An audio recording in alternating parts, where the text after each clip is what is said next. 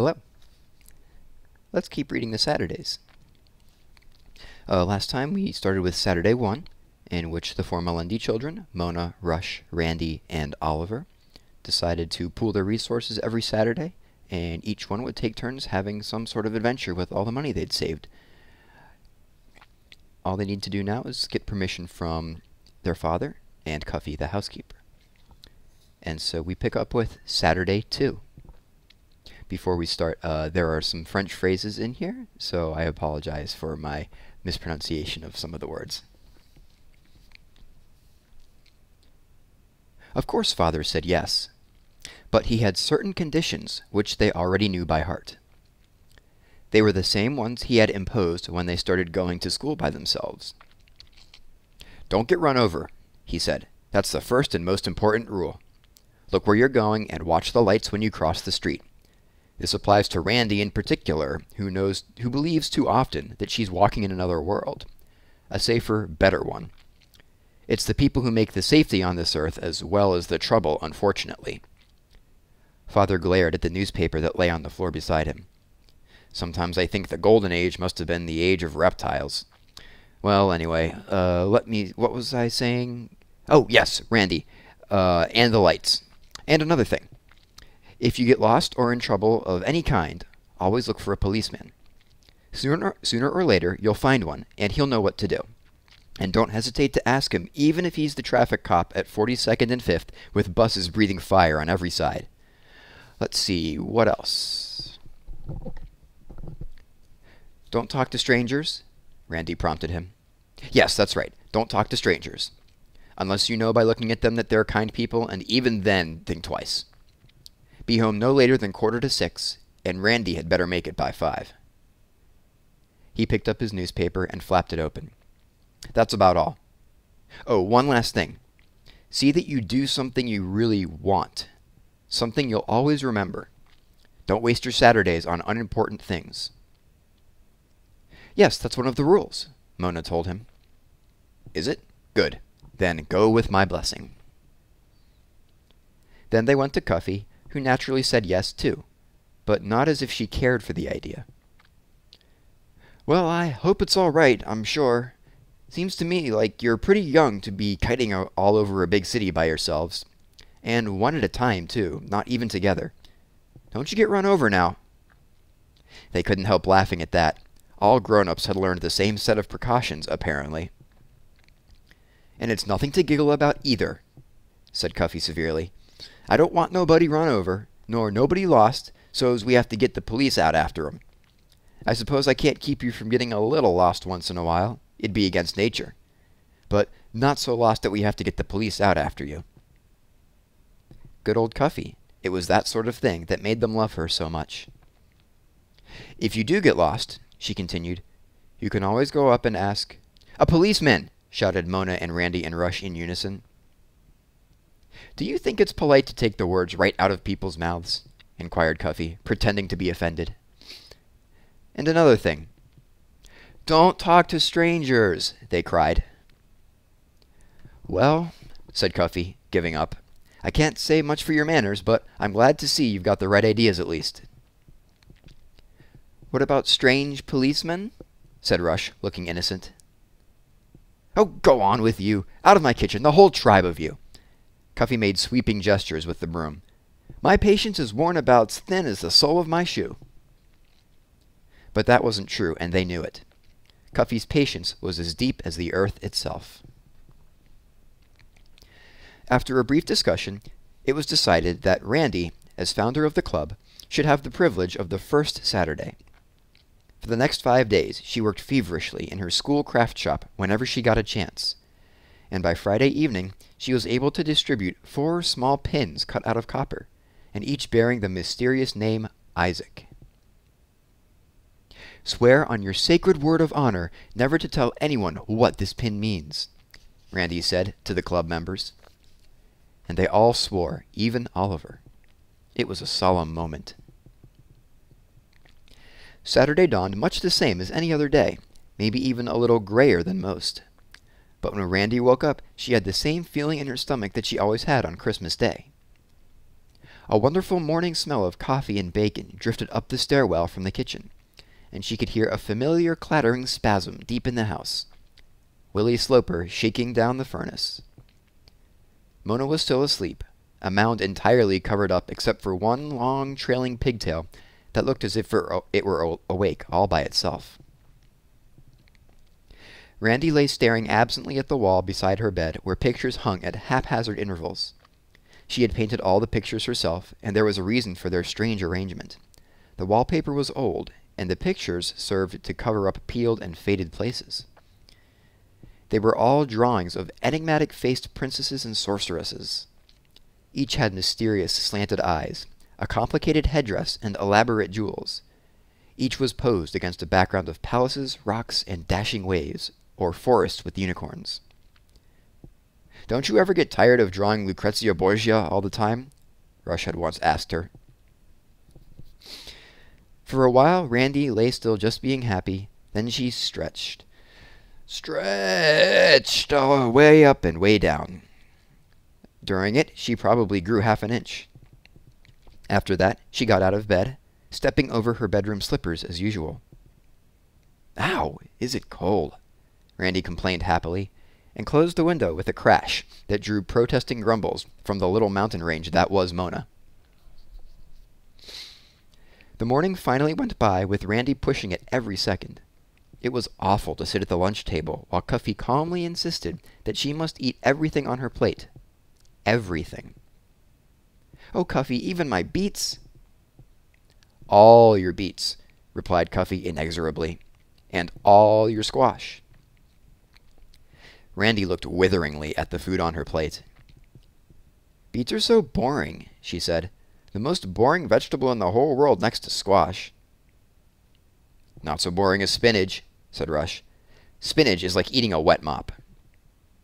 That will be enough of that, commanded Cuffy in the voice that meant no nonsense. At last it was over, even the tapioca and Randy just stopped herself in time from remarking that she considered tapioca the most boring dessert in the world next to stewed rhubarb. Mona came into their room while Randy was changing her dress. How'd you like to borrow my ambers? she asked. Oh, Mona! Randy was overcome. Do you mean you let me? Honestly? Oh, I'd be so careful of them. I promise I would. She felt like a princess in her brown velveteen dress with the amber necklace that had belonged to Mother. It's like big lumps of honey, she said, staring into the mirror. Well, don't you lose it now, admonished Mona, not quite regretting her generosity. Have a good time, Rand, and don't forget to, you have to be back by five. I won't, promised Randy, giving her sister a hug. Goodbye. You're swell, you're swell to let me wear the ambers. She said goodbye to everyone just as though she were going away for a long voyage. Cuffy gazed at her thoughtfully. You look awful little to be going off by yourself like this, she said. Now remember, don't you get run over, and don't...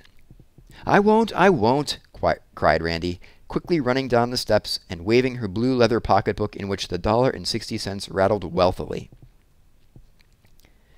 My, it's a nice day, she thought. No one else would have thought so. The sky was full of low clouds, and the air had a damp, deep feeling in it that meant rain after a while. But being by yourself, all by yourself, in a big city for the first time is like the first time you find you can ride a bicycle or do the dog paddle. The sense of independence is intoxicating.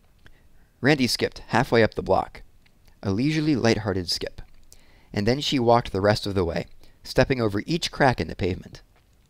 It was very dangerous. She had to be careful, because if she did step on a crack, she would be turned into stone forevermore. In Fifth Avenue, the big green buses rattled by like dinosaurs. I'm going to walk, though, Randy decided. I'm going to walk all the way and look in all the windows. So that's what she did. The shop windows were wonderful. Woolworth's dime store was just as wonderful as Tiffany's jewelry store, and she reached 57th Street in either a very long time or a very short time, she wasn't sure which, because the walk had been so interesting. It was just beginning to rain when she came to the art gallery where the French pictures were being shown for the benefit of war relief. It cost 75 cents to go in, so Randy planned to stay a long time and gave her coat to the doorman. The gallery was hushed and dim after the bright, sharp street. The soft rugs on the floor, the soft neutral color of the walls, with each picture glowing beneath its own special light, made her feel as if she had walked into a jewel case. Catalogue, miss? said a man at a little desk. His eyeglasses flashed in the dimness.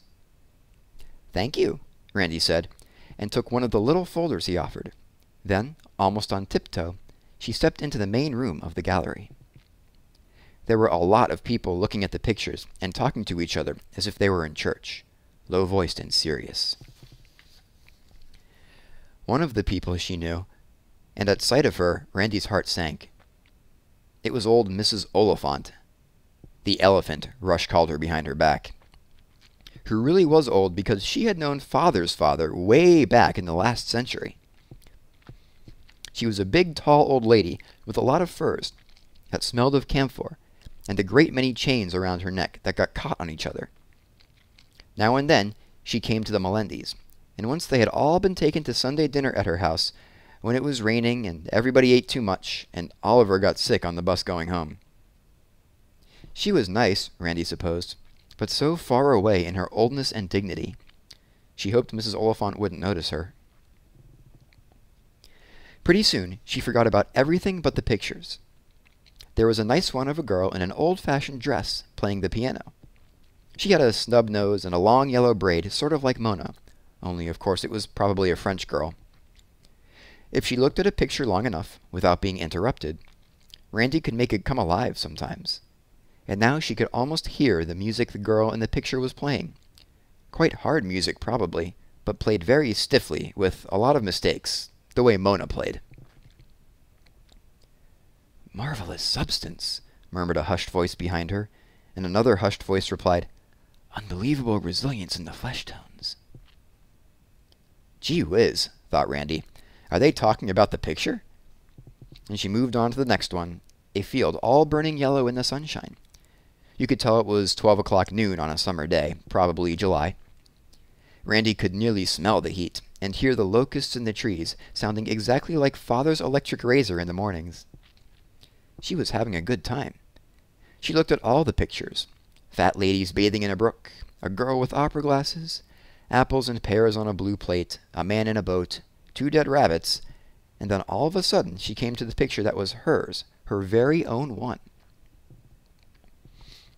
Randy was always finding things that belonged to her in a special way, though ownership had nothing to do with it. Now she had found the picture. The catalog told her that the picture was called The Princess, that it had been painted by someone named Jules Clairon in the year 1881. In the picture, a girl about Randy's age was sitting on a garden wall and looking out over an enormous city. She had a solemn little face. Her long hair hung to the sash of her old-fashioned dress, and her high-heeled boots were buttoned almost to the knee. Among the potted chrysanthemums at her feet sat a black poodle with a red bow on top of his head. On either side, the clipped plane trees were almost bare, and in the distance the huge city was spread in a dusky web of blue and gray. It was easy to make this picture alive. Randy stared at it fixedly, hardly breathing, hardly thinking, and pretty soon she thought she could smell the mixture of damp earth and burning leaves and smoke from distant chimney pots. She thought she could hear the hum of the city and the clear voices of children somewhere out of sight. A day had come and gone, years ago, and still it was alive. I wish I'd known that girl, Randy thought. She felt a touch on her shoulder that brought her back to her own world with a start. On her shoulder, she saw a knuckly black glove, and against her cheek she felt the prickling of camphory fur. The elephant, darn it, thought Randy crossly. Just when I was getting right into that picture, too. Well, well, my, why, Mona, dear, what are you doing here? inquired Mrs. Oliphant in her deep, cavernous voice with its faint foreign accent.